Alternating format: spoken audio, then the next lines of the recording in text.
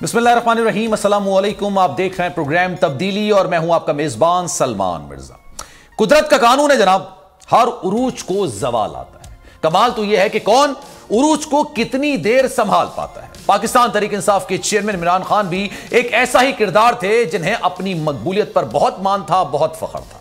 मगर आज उनकी मकबूलियत ही एक बहुत बड़ा सवालिया निशान बन गई।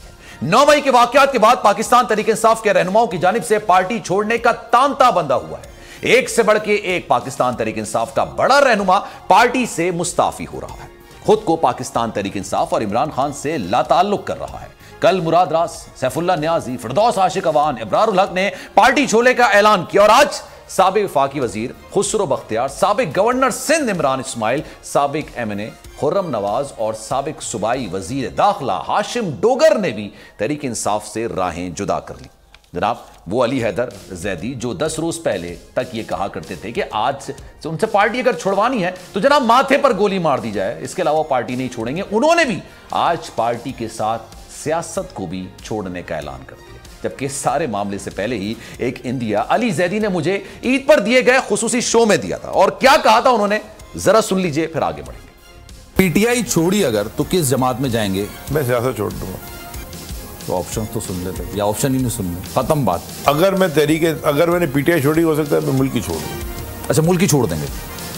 कोई मेरे को नज़र नहीं आ रही हो। या कोई ऐसा कोई ऐसी खड़ी हो ज, ज, कोई शख्स या ऐसा कुछ मूवमेंट हो जो कि जिससे आप एतमाद कर सकें। ये सत्ताईस साल की जो स्ट्रगल है खान साहब की, ये कोई मज़ाक नहीं है। तेईस चार को जनाब ये इंटरव्यू किया गया था और आप ये सोचिए कि उस वक्त किसी को ये गुमान नहीं था कि ये सब कुछ होगा। पाकिस्तान तरीक इंसाफ को खैरबाद कहने वालों का सिलसिला जारी है, मगर जो लोग पार्टी छोड़ रहे हैं, वो तीन तरह के लोग हैं। एक वो पार्टी के साथ साथ सियासत को ही खैरबाद कह रहे हैं, दूसरे वो हैं जो बड़ी नम आँखों के साथ अश्क बहाते हुए पार्टी छोड़ रहे हैं और ज़िंदगी में ब्रेक लेना चाहते हैं या फैमिली को टाइम देना चाहते हैं। लेकिन तीसरे वो हैं जो पार्टी तो छोड़ रहे हैं, मगर इस चैलेंज के साथ कि उनको छिड़ने की कोशिश ना की जाए, वरना उनके पास बहुत सारे ऐसे शवाहिद मौजूद हैं जो खान साहब और पाकिस्तान तरीक इंसाफ के लिए अच्छे साबित नहीं होंगे।